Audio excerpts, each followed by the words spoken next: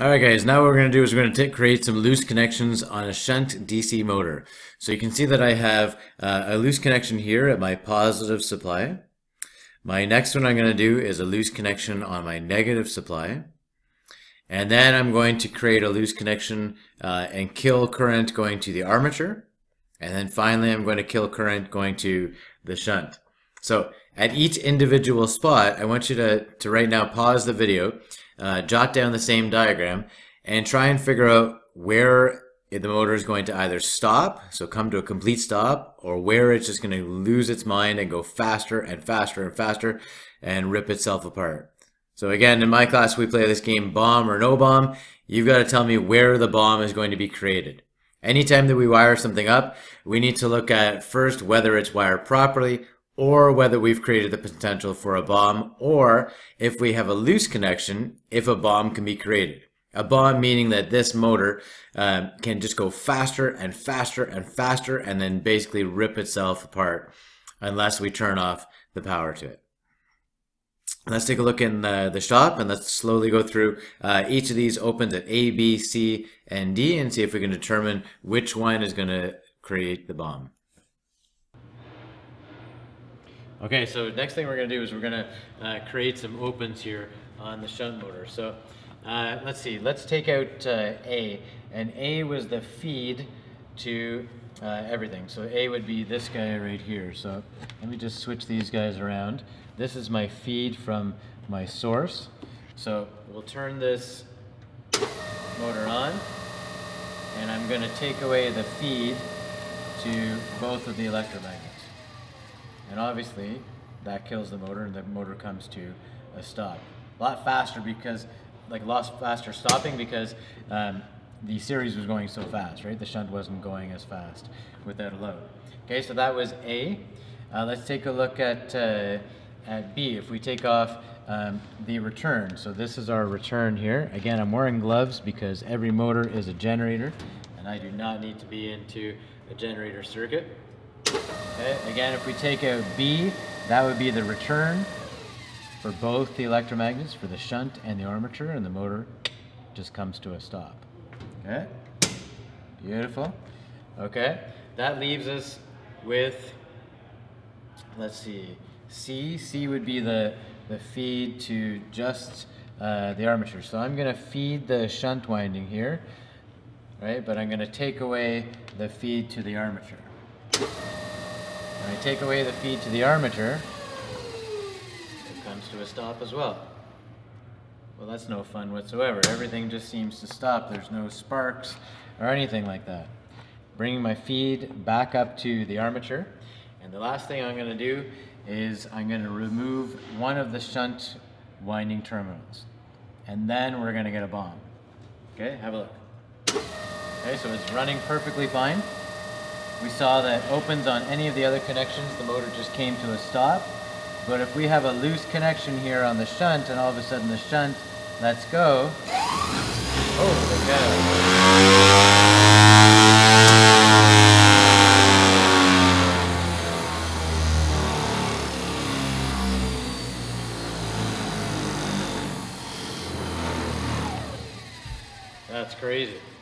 just goes faster and faster and faster. Maybe you can see that there were sparks just flying out of the, the commutator there. Let's try that again because that was pretty cool.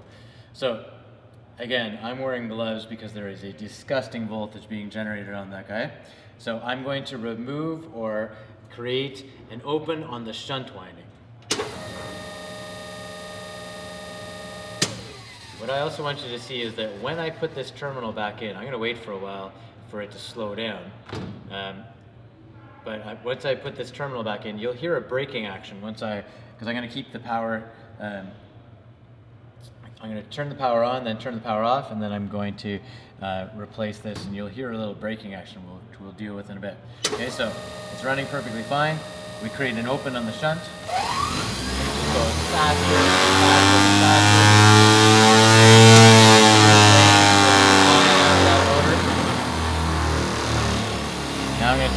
Terminal and listen to the motor. There's a braking action. the brake, the breaker to that motor is off. There is no supply whatsoever to that DC motor, but by putting that terminal back in, I'm getting a braking action as well. So we gotta figure out why that motor is taking off as soon as that shunt winding opens up. Okay, so we found that uh, at A, B, and C opens at any of those points made the motor stop. And it seems like if we disconnect the armature, then the motor just comes to a complete stop. But the last point at D where we had that open on the shunt, then the motor took off and we had all that arcing and sparking happening on the commutator. So let's just briefly talk about why that actually happens. Uh, if you're watching this from my class, then stop the video here. If you haven't been to this lesson, it's a lot easier or a lot more fun if you try and figure this out in class rather than just getting the answer right here. You can come back to this later on for the explanation. So the reason why when we have an open on the shunt, and in this case, the series isn't in there, right? This series winding is not connected whatsoever. So this guy is not in there at all. But when we have an open on the on the shunt, you would think that the motor would just come to a complete stop because we need to have uh, both these magnetic fields, right? We need a north and a south, and we need a relative north and south here in order to get rotation on this machine.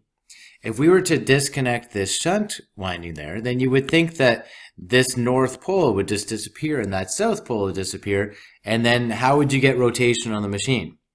But we've seen that when we have that open on the, the shunt here, that the motor just takes off and it goes faster and faster and faster. So the reason for that is twofold. You would think that all of that magnetic field disappears. But remember that there's a little bit of residual magnetism. So there's still some residual magnetism that's held on the field poles. So that's how we get that kind of repulsion here between these two points and the motor keeps spinning. So that is one thing here is due to residual magnetism.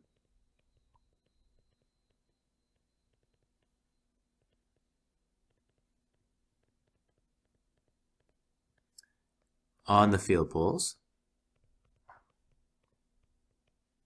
Can't spell today, sorry.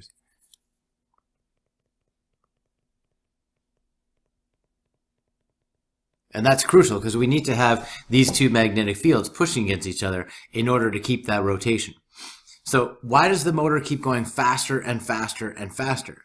Well, initially, when the, the shunt was set up, we had a large magnetic field that was going across like this, right? But as soon as we lost that shunt field, then we lost a large part of that magnetic field.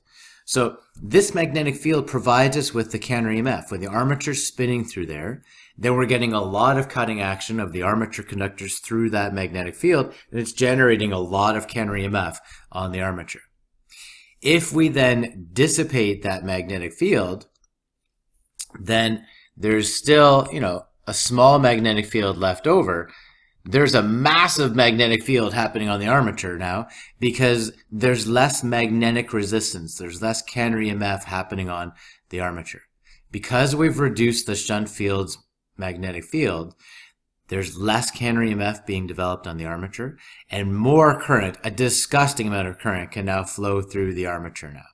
So this magnetic field has dissipated, but it's still there. And this magnetic field is now massive right? This is a huge magnetic field because we have a disgusting amount of current flowing through the armature now.